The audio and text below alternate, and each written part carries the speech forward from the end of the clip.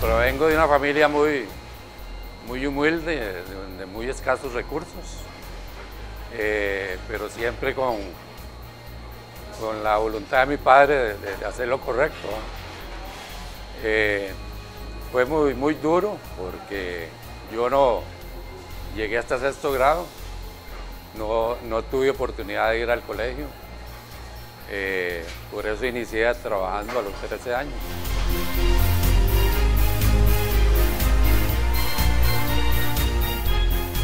La noche a la mañana me vi como desempleado, pero con la idea de, de empezar a, trabajar en lo propio, eh, con la carga de, cuatro hijos. En ese momento nos llevó noches enteras eh, reunirnos nosotros dos solitos, yo a llorar en el hombro de él y él a consolarme y a decirme no te angusties, vamos a salir de alguna manera.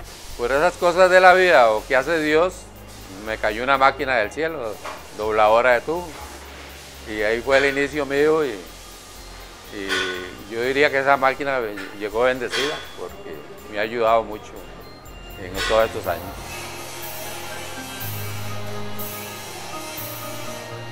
Jamás había tocado una máquina de soldar. en mis 25 años de experiencia, nunca había tocado una máquina de soldar, pero eh, ese día lo hice. Y ahí empezó todo.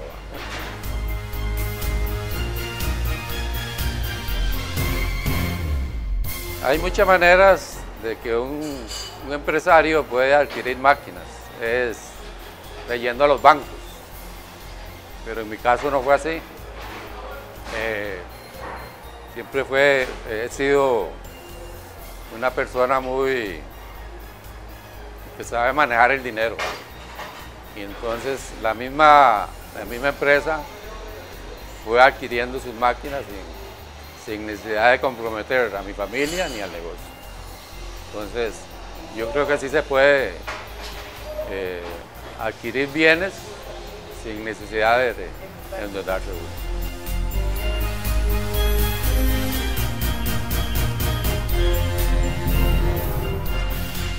consejo es eh, llevarse bien con los empleados, no despilfarrar, hacer despilfarro de, lo que produce la empresa, porque eso le ocasiona mucho, estrés a uno.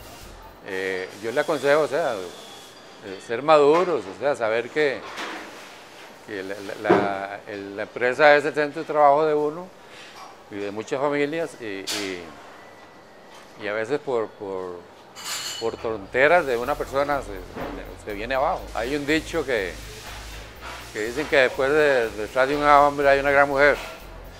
Yo diría que doña Lija ha sido en todos estos años de vida matrimonial una gran mano derecha mía, porque ella me ha guiado, me ha guiado mucho.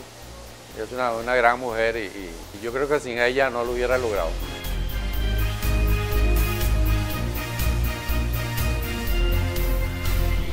Lo que yo siento por Edgar es admiración.